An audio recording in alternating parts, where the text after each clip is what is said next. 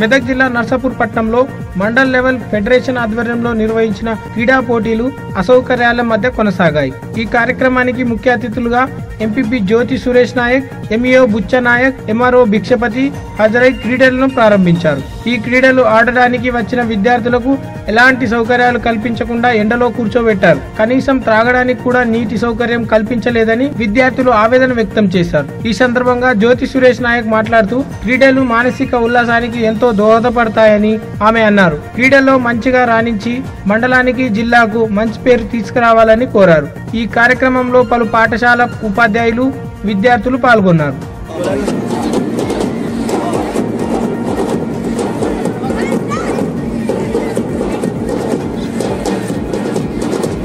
స్థానిక ప్రభుత్వ పాఠశాల అయినటువంటి GIT ZP boys high school విద్యార్థులందరూ కూడా